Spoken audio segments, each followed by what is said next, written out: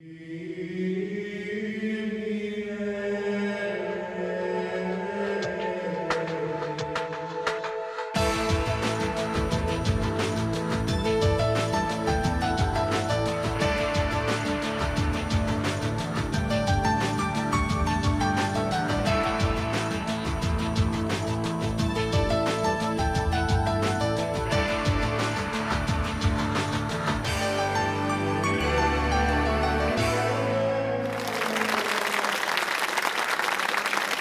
Welcome to Sunday Night Prime. I'm Father Andrew Apostoli, member of the Franciscan Friars of the Renewal, and it's my pleasure to be your host for today's program. Before we get into that, remember, I'd like to remind you if you have any questions, any comments, suggestions for programs, uh, please send them to Sunday Night Prime at EWTN.com. That's Sunday Night Prime at EWTN.com well, may the Lord give you his peace, the greeting of St. Francis.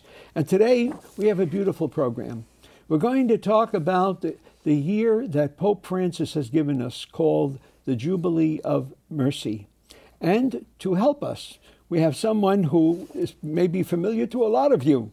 We're viewers of EWTN, and she's written a wonderful book on this topic and I'd like to, it's my pleasure to introduce our very special guest, Joan Lewis, who is EWTN's. Wow, I'm so excited to be here, Father. Okay, you are Rome, you are EWTN's Rome Bureau Chief. That's right. Okay, and also author of a wonderful book here, Joan. So it's a real pleasure to have you on well, It's a joy because I do so much from Rome, as you know, so much television. To be in studio with you, whom I follow, is, is a great joy well, for me. Well, thank you. Yeah. That's a that's a it's a real uh, joy to hear that. You know, and. Um, uh, you know, let, let me just show you her book. We'll talk a little bit, we're going to talk about it through this program. A Holy Year in Rome, the complete pilgrim's guide for the Jubilee of Mercy. You know, uh, well, Joan, I'm sure a lot of our viewers know you, but there may be some who don't. Could you tell us a little bit about your background, especially your work in, with EWTN in Rome? Well, I am so blessed to be doing what I'm doing for EWTN. I'm in my 11th year as the Rome Bureau Chief, but before that, I worked many years at the Vatican at the Vatican Information Service within the press office. So, and all those years of working for the Holy See for the Vatican, uh, it was like it was a foundation for what the Lord was going to let me do when I retired from from the Vatican. And um, so I had those wonderful years of getting to know people that are helpful and, uh, to me in my work now, people that I have to interview, people that are going to give me information, whether it's for this book or, or the other programs I do mm-hmm. for EWTN. I think most people know me from my blog is called Joan's Rome. And I have done 59 videos, three or four minutes each, called Joan's Rome, or in some cases, you'll love it, um, Joan's Assisi I did 14 little, you oh, know, snippets beautiful. up there. Historical, obviously looks at the basilica mm-hmm. and the mm-hmm. lives, the people, the town. Um, so that's most people recognize when we come to Rome. I mean, I've had this happen in restaurants and everything else. You know, oh my heavens, it's Joan's Rome. So ma- maybe I'll have to change my last name. Um, but they know the video and they know my blog. So and then I mm-hmm. also appear now. I think we're in our second year um, twice a week, Mondays and Thursdays, I'm on the show At Home with Jim and Joy. And that airs like, I think it's 2 p.m. E- uh, East Coast time. And so I always bring some little snippet from Rome to the show because uh, of course it's marriage, it's family life, it's it's pro-life issues. So whatever's happening in Rome, or if the Pope has written something apropos of that day's topic, that's what I bring in our our live appearances from Rome. So mm-hmm. I'm a busy person because I also have three radio shows. Wow. Vatican Radio is called Joan Knows, and it, it doesn't have now the question and answer session, but the name was born when I used to give a news summary and then finish with a Q&A. Somebody would send in a question like you mentioned for yourself, mm-hmm. and then I would I would give the answer. And I have a weekly show on Wednesdays with Teresa Tomeo, of course, oh, yes, Teresa, yeah. yes. Mm-hmm. And um, and then I have the Vatican radio show, as I said, and my weekend radio show for EWTN is Vatican Insider. That's 25 minutes long, and news and a Q&A and, and an interview with someone famous and interesting. Very good. so I'm busy. What do you do in your spare time, Joan I cook. I, ha- one- I have a lot of friends for Doug Keck once called me, introduced me on a program as EWTN's Rome Bureau Chief. And you know what? She's Rome's bureau chef because everybody ends up at her house for dinner. Wow, So- that's great. Have you cooked a lot of Italian recipes there? I'm kind of all over All the over, place with okay. Mm-hmm. recipes, a little bit of French. Um, yeah. I'm not quite gone into Chinese yet, but Mm-hmm. um, yeah, probably a mixture of American and Italian, I would say. The pasta, the antipasto. Uh-huh. Yeah. See, I was raised on Italian food. You know, Of my, course you were. My mother's maiden name was Carminucci. You know, her specialty was pizza. She used to make a delicious pizza. Ah. I used to I used to love to take the brothers and sisters to my my family, my parents' home, and I'd say, "Mom, make some nice pizza for them." And one of the brothers was eating the pizza one day, and he said to my mo- my mother, he said, "Mrs. Apostoli, how do you get this pizza to taste so good?" And she said, "I put a lot of love in it." So that was mom's special recipe. She put that was her that was her uh, real gift. Yeah. And you know, Joan, it's a, it's a beautiful thing. You know, you're mentioning being in, in uh, Rome, and I, I remember I had an experience around 1981. Uh, I was a Capuchin Franciscan at the time. We had this Franciscan heritage program, and I got over to Italy uh, for the first time. I was in Rome, you know, where I saw my roots as a Catholic. Of You know, then in Assisi, I saw my roots as a as a Franciscan, Franciscan. and then we ended up in a place called Camerino, which is in the marches of Ancona, where my family actually On the Adriatic, from. yeah. on the Adriatic side, yes, and and that's where the Capuchin reform began. So it was like an experience of my roots, Catholic, Franciscan, Wow. Capuchin, you know. But it must be a wonderful thing, you know, being there, Joan, and uh, you know. Now, what, what moved you to write th- this beautiful book? Well, actually, for the whole year 2000, um, the current one we're in is an extraordinary Jubilee of Mercy.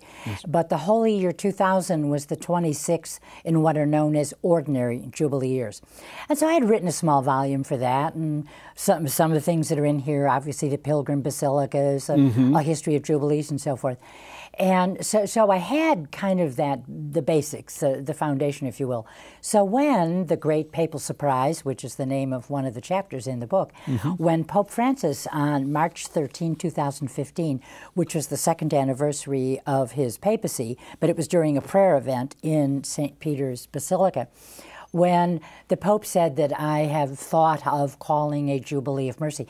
We know for two years we had heard nothing but the word mercy from him. That mm-hmm. was the highlight, the the one defining word of his of his papacy. And so the fact that he called a holy year, I thought to myself, oh heavens, so much has happened between 2000 and 2016, 15, when, of course, December of last year, mm-hmm. when the Jubilee began. I just thought I can take all this information and update it, but take a look at mercy, have a chapter on the papal surprise, the the bull of indiction, the pope's announcement, relative documents to, to the jubilee, and it was a lot of fun because there were, were so many new things that I could add to this volume. It's much bigger than uh, than the previous one, so um, it was like how the pope's just given the world a gift, a holy year. Maybe I could give them a little gift to have with them during that holy year. Right. Yeah. To profit more. You know, I think, uh, Joan, when the people of God know why, you know, what the Pope has given us, what, uh, what, how we could respond best, Right. they will profit so much more. you Oh, know? yes. And, that, and that's the whole idea. And um, to profit also, you and I were talking about this earlier over lunch, the fact that Uh, a, a jubilee is. N- it might be focused on Rome. The Pope called it in Rome. There's big events that happen in Rome, but they bring people from all over the world to Rome. So the upcoming in, in the month of this month of May, the, the Jubilee for deacons later this month, and then next month the Jubilee for priests on the feast of I think it's the Sacred Heart. Um, there will be a Jubilee of uh, young people, of course, World Youth Day, a Jubilee for ill people. So we will have people from all over the world, from the Universal Church, focus in Rome.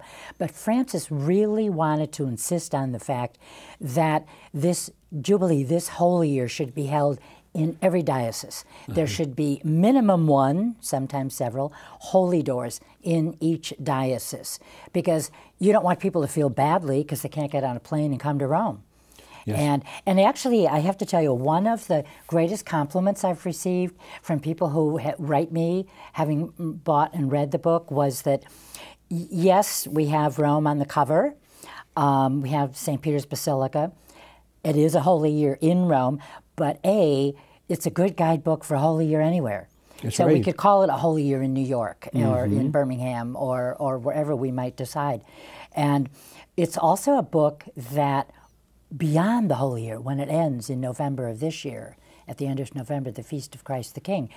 When the holy year ends, there's so much in this that will still be of value. you know, Absolutely. to oh, the, yes. To the reader, to anybody who wants to travel to Rome or can't.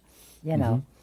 And you know, you, you see the Holy Spirit working, you know, uh, from from Jubilee to Jubilee. You know, when I read your chapter on that, on the history, uh, we went, I don't want to get into that right now. I wanted to ask you, um, you know, the Holy Father has this great focus on mercy. Do you think? Uh, do you think the troubled times are provoking this? Uh, It, it sounds like, from what I started to read about Pope Francis just as he became our new pope, and so few of us knew his background, um, it sounds like mercy was a very big part of his life before he became pope. When you think of his concern for the disabled, his concern for the ill, hmm. his concern for the homeless and the poor and the mm-hmm. outcasts, um, his concern for them, and, and mercy was just always a part of that. Mm-hmm. Also, his focus on God's love for us. I have to say, since Francis became Pope, I have personally, Joan, felt God's love more than at any other time in my life. Francis, for me, has made that very real. And when someone loves you like God loves us, m- mercy also plays a big part in, in that love. oh yes, yes. And and so that's what the, this has meant to me. The concentration on mercy. I do look at the poor, the outcast, the homeless in Rome in a different way. This Mm-hmm. Pope has made me walk by a homeless person begging on the streets of Rome, and turn to them and smile and say "Buongiorno." Mm-hmm. And I, I didn't used to do that. I Mm. would wa- walk by them, and you know they aren't a part of your life. And you know, you, you realize how much even a buongiorno, a good morning, good day, could mean to a person who's sort of very alone, feels maybe unloved, unwelcomed, uh, you know, uh, sort of fending for themselves, and how, uh, you know, that's a, such a terrible s- suffering, isn't it, to be alone? Well, I even think more about why is this person person there. We know for just in Rome alone, but we know that with many homeless people there is a question of maybe a mental illness or something. Others they really they were maybe in a good position and maybe had a family and a job, and, and for circumstances well beyond their control, all of a sudden they end up losing everything, and um, and, and maybe they can't make it up, get it back, and so all of a sudden we see them in ragtag clothing and having to beg. Yeah. you know, uh, in our community, uh, Joan, we have a couple of shelters. We had the Padre Pio shelter for a long time. Now we have the St. Anthony shelter, which is even bigger. And, you know, sometimes you do meet people. I remember a guy was a lawyer. He was doing very well, but I guess maybe uh, he fell into like alcohol and things like that, which really undermined his Sure. position. And yet he was a good person. And, uh, you know, you, you try to kind of get them to uh, get it together, you know, and, and that's mercy, to receive that mercy, encouraging them to be open to it, to ask the Lord for it, because He's, Oh yeah. yeah, you know, um, one of the great impacts on my on me over this same period of time that you're talking about, I've been reading the diary of Saint Faustina. I am heavily into that diary, and I love it. You know, I, I just can sense Um, because I teach the, a course on prayer and development in stages, like Saint Teresa of Avila talks about. Sure. You could see it right there as she's going through from stage to stage, and she, you know, great saint as she is, she had her doubts, she had her fears, and just like we all go through. And what encouragement, and how Jesus spoke with such love and concern, you know. Oh, yes. Mercy for her. Yeah, yeah. Brilliant. Well, yeah, Joan, we're going to come to our first break in a few moments now, and uh, so uh, we'll take a little break, and we'll be we'll be right back. Don't leave us. We have so many beautiful things to share. This book has got a treasure, so hold on.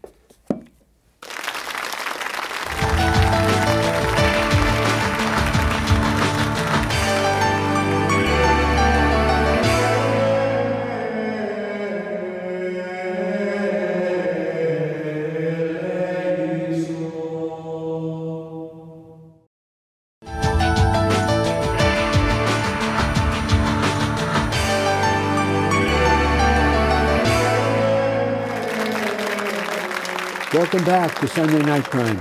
I'm Father Andrew Apostoli, your host for today's program, and our special guest is is is uh, Joan Lewis, who is EWTN's Rome Bureau Chief. She is also author of a wonderful book, A Holy Year in Rome: The Complete Pilgrim's Guide for the Jubilee of Mercy. Joan, again, welcome to the show, and uh, uh, thank you for writing this beautiful book. Tell us, what, was a Jubilee year? What does that mean? There's two origins to, to the word Jubilee. We have the biblical word Jobel, which means ram's horn. And this was a horn that was actually sounded every at the end of seven times seven years is 49. So the 50th year was a year of celebration. It was the repayment. Uh, all debts were done away with, slaves were freed, and so it, it really was because of that a time of celebration. Although the aspect I never understood of those jubilees was they would leave lands untilled for a long time. I, I never did explore that for my book, but maybe someday I will.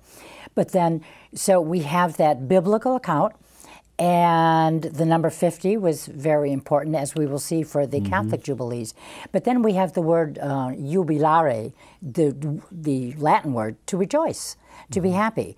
And we think of a jubilee, we can have a priestly jubilee, 25th, 50th anniversary, we can have wedding anniversaries. So uh, usually you'll think of jubilee, it could be silver, but usually is golden for 50 years, right? 50, yeah. Mhm. Yeah, going back to that biblical concept.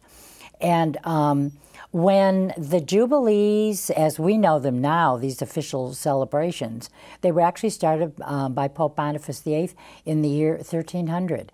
And um, it's fascinating to see how they evolved over the years, and that was the fascinating part of studying and, and writing the book, because in the, he declared they would be held every hundred years. Well, how many people? you- There would be people who would go an entire lifetime, families, where maybe only every third generation would be able to go. Yes, yes. So then that was moved down to um, 50, and then eventually it became what it is today. Ordinary jubilees are every 25 years. And then when a pope wants to, like for the Redemption, 1983, John Paul had um, the extraordinary jubilee of the Redemption. There was a Marian jubilee, and this again is the Jubilee of Mercy is an extraordinary jubilee. So it's a time that en- envelops many sensations, many ideas, many mm-hmm. feelings. We say jubilation and celebration and happiness. And, and you, you've got the idea of reconciliation, reestablishing peace, reconciliation between a person and God.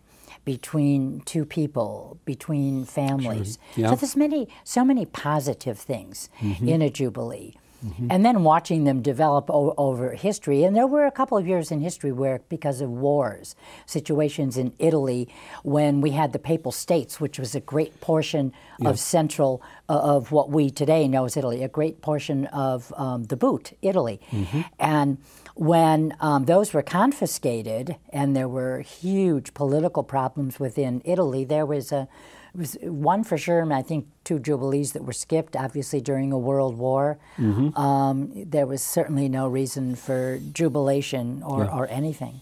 So, to, and, and what's really been fun over the years, studying the Jubilees, but then also being in Rome in the 90s as they were preparing for the Jubilee year 2000 in these this year since Pope the Pope announced the um, this current jubilee. It's interesting to watch how the church and how cities ready themselves. For so many years, centuries, of course, it was Rome, the focus of the Jubilees. But bridges being built or hospices to welcome pilgrims. Mm-hmm. The very hospital of Santo Spirito be, uh, started out as a hospice for pilgrims. Oh, Pil- mm-hmm. Pilgrims used to walk to Rome from, from France, from Germany, the, the countries we call France and Germany today. Mm-hmm.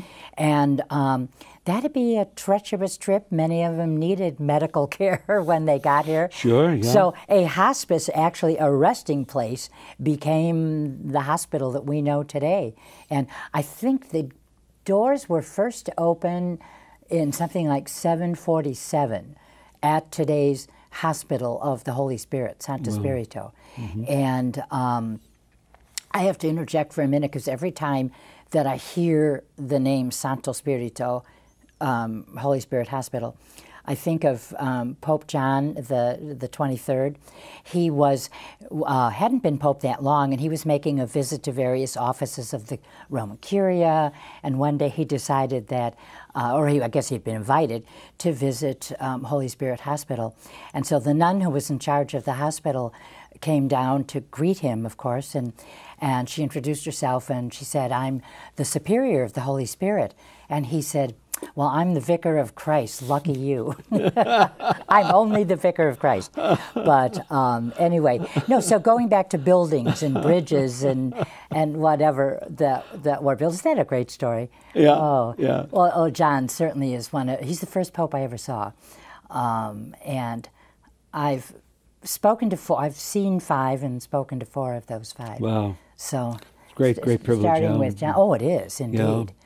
And um, so John Paul VI, um, John Paul II, Benedict, and now Francis.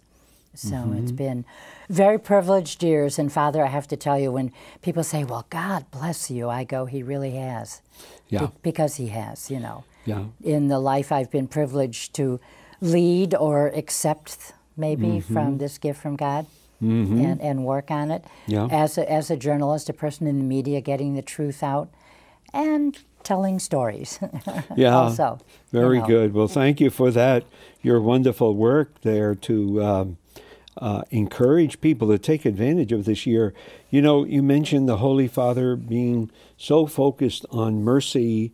First of all, that I always say mercy is a gift we need to receive from God but it's a, a, gift that we in turn must give to our brothers and sisters yes. you know in the works of mercy the corporal and spiritual works of mercy but you know the holy father so concerned with i'm sure the many people in the church who are no longer or have not been for a while uh, taking advantage of the beautiful sacrament of God's mercy and confession. Yes. And here he isn't he sending those missionaries of mercy out? Oh, we sent the missionaries out, and then what was it about two weeks ago when he had all the uh, the teenagers, and in St. Peter's Square it was on this on that Saturday, uh, April twenty third, I think.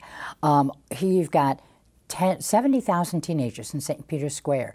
And, and, all around the colonnade area and in the square were priests who were hearing confessions. And unannounced, the Holy Father came out and he heard the confessions of 16 y- young people.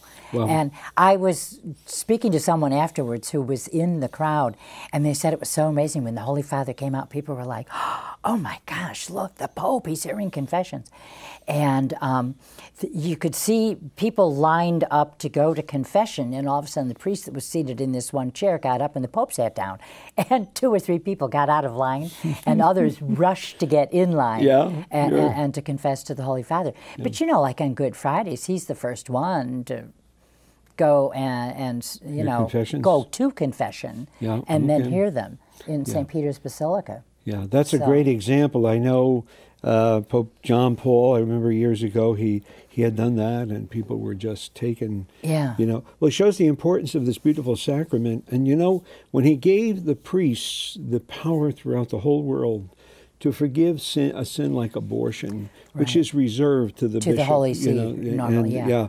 and uh, you have to have special permission. Or here in the United States, we do have that uh, power to absolve that sin. It was especially given a number of years ago. But he gave it to every priest throughout the whole world. And you mm-hmm. know, there are so many people, Joan, that I'm sure burdened with that sin, want to get rid of it, but had to find a priest who could absolve them, you know? And the Pope, I think, was concerned.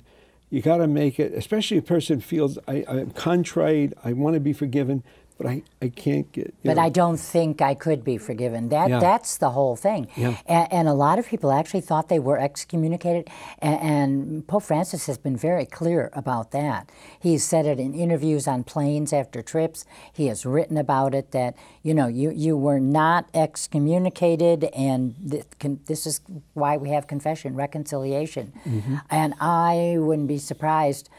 I don't know if we'll ever know numbers from this year. Probably not, but but we may have an inkling. You may have priests come and say, "Wow, you know, I had double the number of people in confession. I've had 30 people come back to the church after years." So we may get some inkling of the Yeah. blessings of confession. Yeah, see, we can't talk about that, uh, you know, because it's the seal. You got to be careful Oh, how much you say.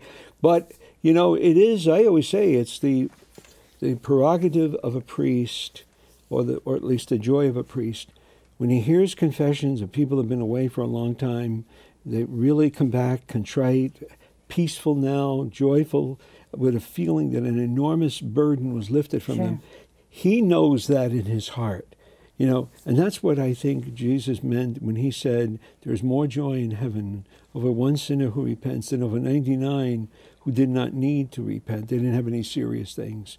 And uh, I, I do think that Pope Francis has been very conscious of that. And uh, He talks about the church as a field hospital. Yeah, a- and, we're out there not for the well, but for those people who need to be healed and cured. Yeah. And so that image is a very, very popular one. Right. He is making people realize the mercy of God, as, as St. Faustina says in her diary, it's incomprehensible. She said, The greatest angel in heaven, greatest saint cannot fathom the mercy of God. That's how great it is. So the Holy Father has given us this, and, and uh, thank you for reminding our people. You know, uh, you mentioned, uh, with, we wanted to look at some of the features of the Jubilee.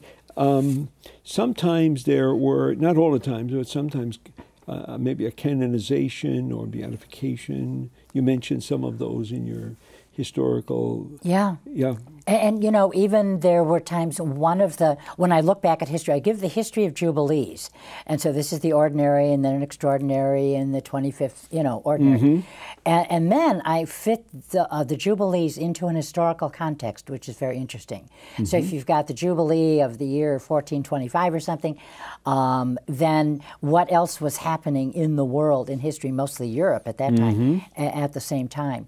Or interesting facts like the first holy door to be opened was um, Pope Martin V, and that was on, on St. John Lateran. That was 1423. So um, ju- just the stories of holy doors in themselves is a fascinating aspect Yeah, of yeah. the Jubilees. Yeah. The formal opening, because I do mention the seven churches that pilgrims, uh, the seven pilgrim churches that Yeah. uh, uh, a pilgrim must go to, four of which are papal basilicas, and the, the other three are not.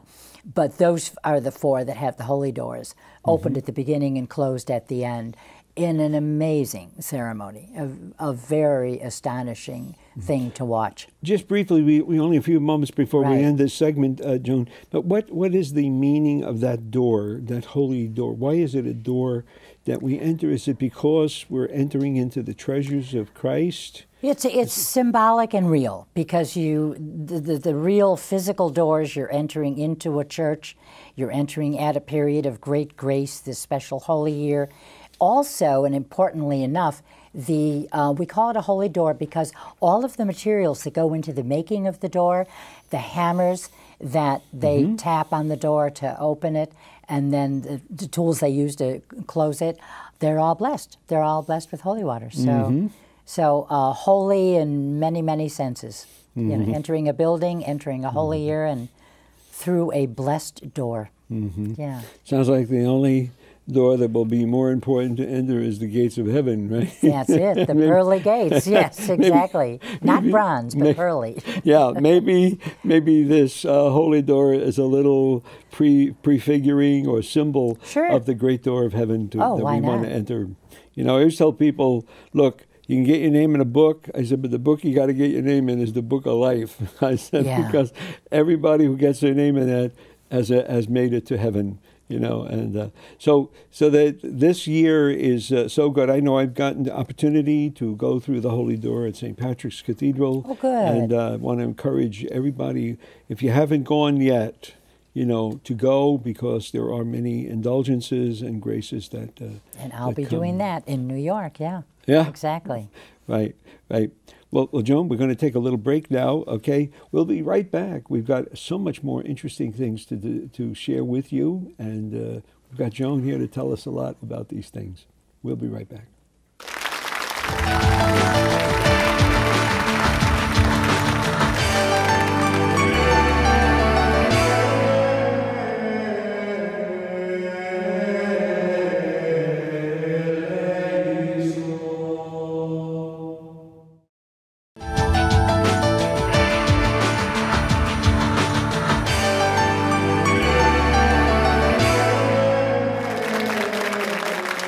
Welcome back to Sunday Night Prime. I'm Father Andrew Apostoli, your host for today's program, and our very special guest is uh, Joan Joan Lewis, who is EWTN's Rome Bureau uh, Chief. Exactly. Okay. You got it. and author of this beautiful book, A Holy Year in Rome, subtitled The Complete Pilgrim's Guide for the Jubilee of Mercy.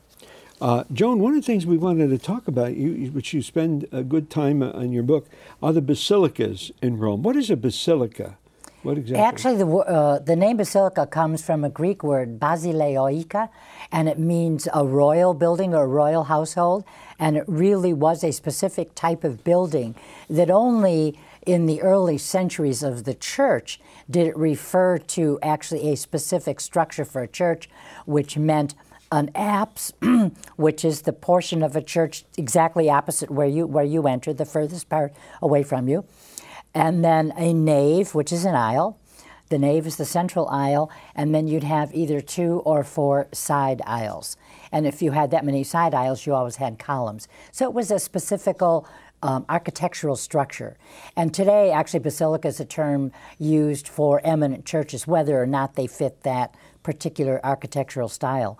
Uh, there's major basilicas, there's minor basilicas, and then the seven. The, I write about the seven basilicas in Rome, which over the years have become the traditional pilgrims' basilicas. You want to go to these if nothing else, as a pilgrim. Now, four of them are papal basilicas. So we have obviously St. Peter's, St. Paul's outside the walls, St. John Lateran, and St. Mary Major.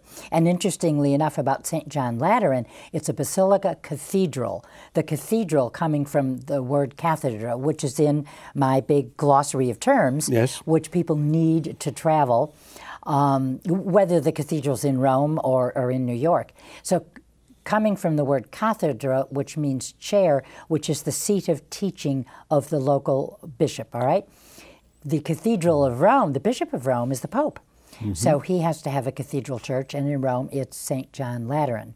And actually, that name comes from a family, I think the third or so century, fourth century, the Lateranense family. Um, so those basilicas, up until I think it was the second year of Pope Benedict's reign, they were known as patriarchal basilicas, because one of the many titles that popes had was Patriarch of the West.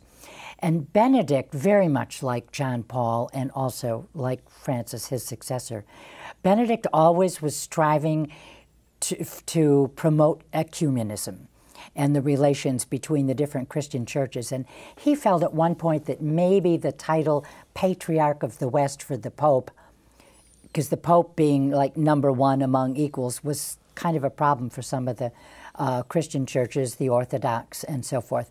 So Benedict did away with the title patriarchal, which means they had to go around to a lot of buildings and change the word patriarchal to papal. And so uh, in my first book, they were all patriarchal basilicas. Along comes Benedict. They are now papal basilicas. And then the other three are um, St. Lawrence, the other three Basi- uh, adding to the four, Basilicas, making seven. The three non-papal are St. Lawrence um, outside the walls, Holy Cross in Jerusalem, and then St. Sebastian, which is also catacombs. And Holy Cross in Jerusalem is just totally amazing. It, it has a specific relic room where you have the relics of the Passion, you have part of the true cross, you have a nail, you have a finger from Doubting Thomas, who said he would only believe if he could put his, his fingers in Christ's wounds. And then the board that was on the cross that said, Jesus uh, of Nazareth, King of the Jews. Um, so that's a very, very special room. And actually, the first time I ever visited the church, they had the crossbar of the cross where St. Dismas, the good thief, was. And I did not find that on my last visit. And it was a day in which no one seemed to be around to answer my questions. So I see. I'll have to put something on my blog about when, when I when I learn about that. So those are the seven basilicas, four patriarchal, four papal, and then the other other three.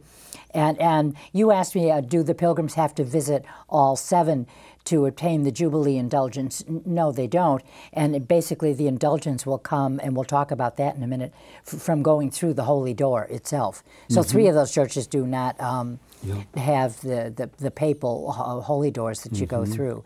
And um, so, basilicas, there's hundreds of basilicas. So, let me tell you something about St. Peter's. As you walk in to St. Peter's Basilica, um, now I think there's, there's two wood barriers that go all the way up to the front of the church. And pilgrims can walk on both sides, but generally not in the center. Some days they're there, some days they aren't. But in the center of the floor are bronze plaques and letters. They're probably three meters wide, maybe a couple inches high. And there are the names in Latin of other churches, other basilicas, cathedrals in the world. If they were put inside of St. Peter's, where would they fit? So if this was St. Peter's, the next biggest one, and it's marked in the floor, is St. Paul's in London. And then you go up, and there's there's either four or five churches in America that actually, if placed, you know, the little plaque gives by their St. name. Peter's. Yeah, if placed inside, that's how big they would be. So that's a fun thing to, to see when you go to St. Peter's. Yes, Peter's. I've seen that in the floors. Yeah, Yeah. as you're approaching. Yeah, I think Going there's from- 33 of them now. And um, but of course, St. Peter's. You were asking me like, did I have a favorite? And it's so hard to say. But first place, I live three blocks from St. Peter's Square. You see the dome from my living room and, and dining room. It's spectacular at night. And um, this is the tomb of the first pope, of the Apostle Peter. That's, That's right. very, very special Yeah. to me. And the Scavi, um, in my book, as you know, Father, I go into uh, the catacombs. I don't explain, go into anything in my book that people can't visit. So I, I bring you to Vatican City because there's tours, the Yeah. museums and the gardens and everything. I bring you to Castel Gandolfo because now it's possible to go out and visit the summer papal residence and the gardens, and I tell you how to do that. And then I, I bring you to the catacombs. But I think the catacombs par excellence are the Scavi under St. Peter's. Sure. A- yeah. And um, this, it's a very small version of a catacomb. There's um, part pagan, there's some pagan tombs in there, then there's Christian. And um, there are, it was a burial ground on what today some people call Vatican Hill, which is not one of the seven hills of Rome. But um, the, the Scavi, these excavations were found in 1949 when they began to build, to go underground to build the proper support for a funeral monument for a pope and it was a very weighty monument, so they wanted to, to have this Make great sure, foundation and sure foundation. As they were digging down, they came and saw graves and they saw tombstones and portals over doors of, of you know, like bigger tombs. And uh, hey, stop the work, folks. And they went and eventually discovered what seemed to be the burial place of, of St. Peter. Many, many indications that this was St. Peter and over time the bones were examined and Weren't there words like "Peter is here" or something? oh oh yes Yeah, Because in those days they had to bury him secretly. I mean, the Romans would have, you know, would put him to death on, a, you know, upside down on a cross. Sure. Uh, you know, sure, sure would have desecrated the uh, Well, there were times when anything had to do with Christianity, you wanted to desecrate what was close, uh, you know, meant a lot to the Christians. I mean, you think of St. Helena, the mother, she was like 80 when she went to the Holy Land. She was the mother Mm-hmm. of the first Christian emperor, Constantine. And so she, she went to the Holy Land, unearthed, the, you know, the true cross, because at the time of Jesus' death and under certain emperors in this Holy Land part of their empire, um, they just wanted to do away with anything, raise it to the ground, bury it, break it, you know, remove Sure. it, hide it. Um, and so, yes, St. Helena wanted to protect all these monuments, and many she brought back to, uh, to Rome. And the Holy Cross of Jerusalem Basilica is built over part of her home. And so, so that's another interesting reason to, to visit that church. But the Scavi are definitely worth it. You can go on, and I tell people in my book, because I, I have a whole section, Tips for Tourists. Um, I tell people about the Scavi, and if you're, I'd say four to five months out from your trip is when you want to begin to reserve. It's very, very small. They can only take groups of 15, so you don't get busloads of 50 tourists getting off and going in. So they take groups of like 12 or 15 max, and just several times each day. And so many more people will request to see them than can.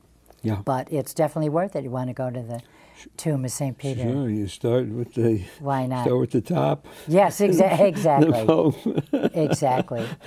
So beautiful, beautiful to see. But go to the part of the book where I, I have tips for tourists because what I've done, I take the tourist information from a Vatican website and um, phone numbers and fax numbers, email addresses for the Vatican museums, the garden tours, the dome, uh, Mm-hmm. going up to see the dome.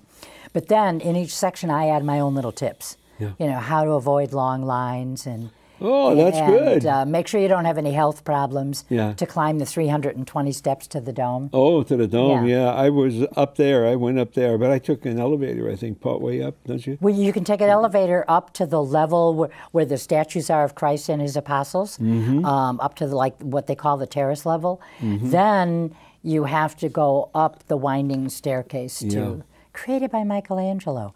How they and there's one staircase up, just one person at a time, and then a separate staircase down. So, but you can't be halfway up and say, "I'm short of breath. I want to go home." Um, it just doesn't work that way. No. You have to go all the way, or probably die trying. Yeah, right.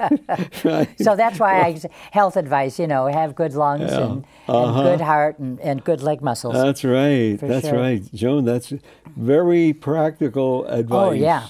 You know, you have to have the practical, Right? Yeah, because people are not going to know that. that that's You know. for sure. You know, and uh, uh, well, uh, um, So, the those Scavi are catac- uh, catacombs, but I do bring people Mm-hmm. to, to the other catacombs. You have St. Callista, St. Sebastian.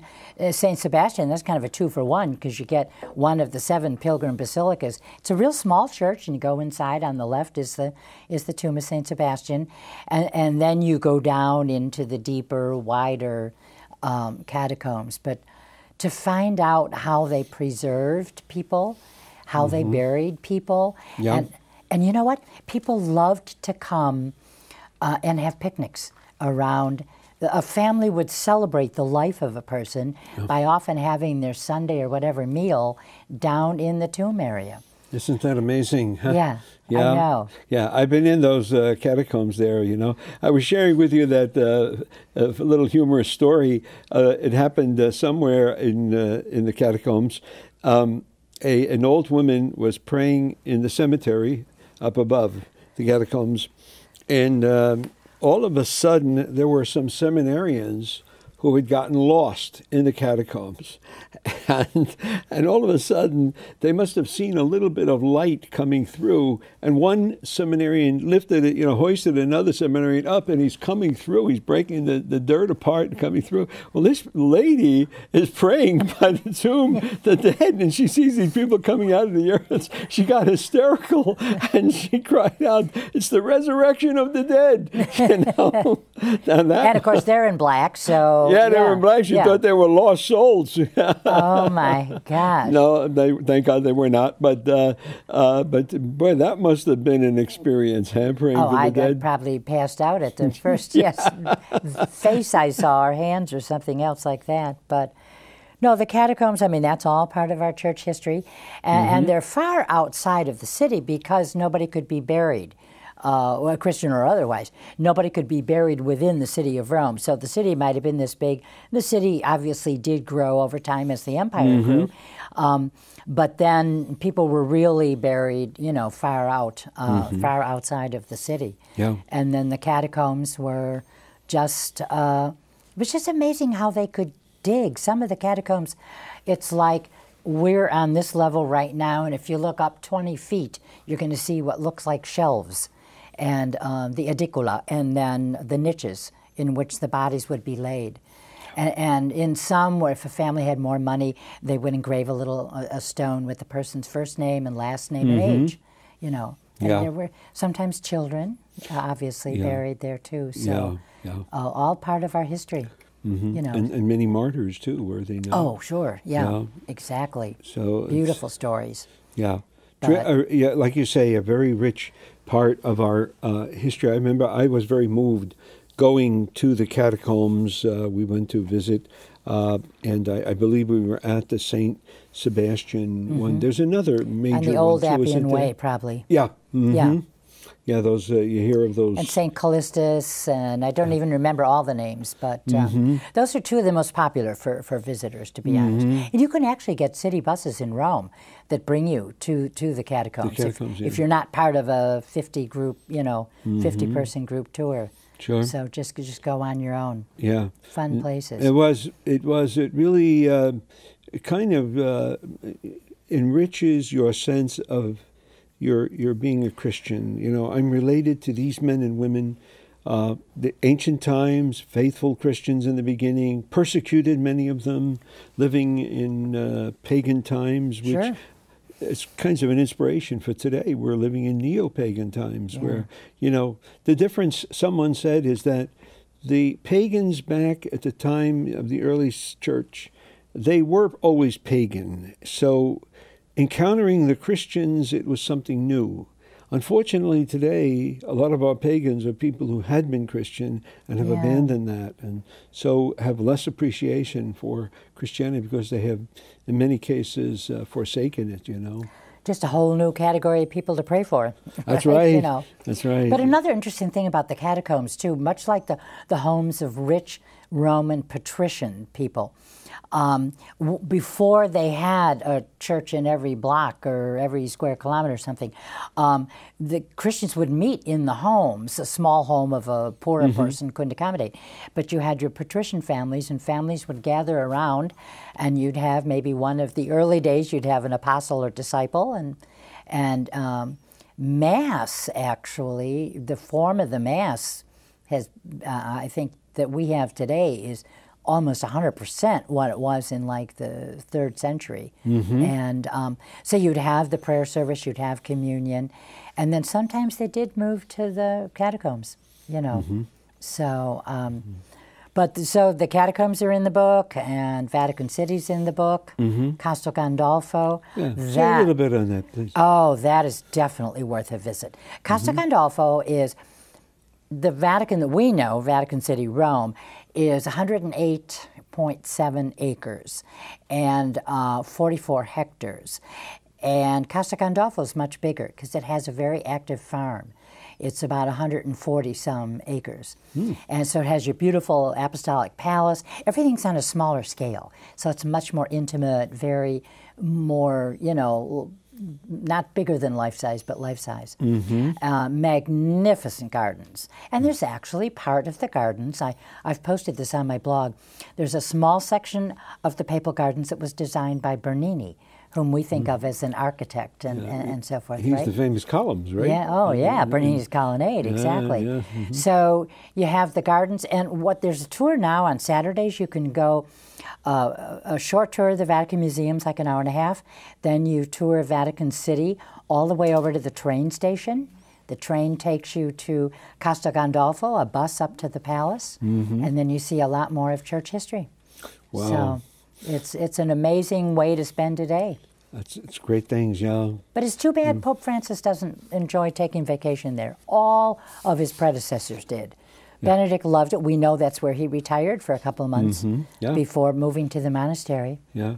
So, And uh, Pope John Paul, I understand, spent all his summers there. oh, I think he'd have moved the papacy there had it been been allowed. he, he was a know. kind of outdoors person, But Francis he? says he, I don't Yeah. know how to take vacations, so Yeah. there's no way he'd mm-hmm. relax there. Well, one last thing we just might want to touch on, Joan. We're coming to close to the end, but you had we were talking uh, during our break uh, about um, how the there'll be different days uh, dedicated to different groups. Uh, Right. you Oh, mentioned. yes. Just mention a few of them. Oh, I think we should. In or so. May, Jubilee for deacons, June, Jubilee for priests, and for those ill and with disabilities, July, World Youth Day. September, interesting, they have a Jubilee for workers on the same day that Mother Teresa is supposed to be, uh, will be canonized, Mm-hmm. September 4th. Then we have a Jubilee for catechists, and the last Jubilee, uh, Marian, in October. And then November has a lot of feast days, but Jubilee celebrations and the closing of the Holy Doors. Mm-hmm. So the Feast of Christ the King in November will be the last official event, closing of St. Peter's Holy Door. Wow. So great things to look forward to. Yeah. So, Joan, thank you so much for giving us this book so people can get it A Holy Year in Rome, the complete pilgrim's guide for the Jubilee of Mercy. And we must spread this beautiful gift of God's mercy and encourage people. Well, Joan, we're going to have to end now with a little prayer and a blessing. In the name of the Father, and of the Son, and of the Holy Spirit. Amen. Lord Jesus, you are the divine mercy, and uh, your apostle, Saint Faustina, has proclaimed that message, and the Holy Father, your, your vicar on earth, has proclaimed the Jubilee year of mercy. May all our people take advantage to receive the mercy that will set them free to love you and to love one another, uh, for your mercy endures forever. Amen. I bless all of you in the name of the Father, and of the Son, and of the Holy Spirit.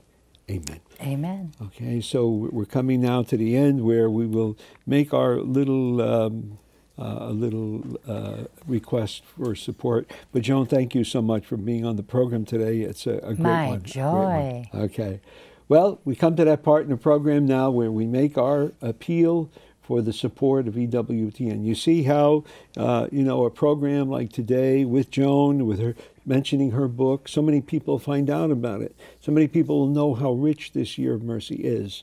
And that can happen with the, you know, the medium of television and all the other things that EWTN uh, uses as communication. So please support them. We need your prayers, but we need your financial support for as much as you can, you know, whatever you can afford to help this beautiful work go. You're participating in the new evangelization. God will reward you.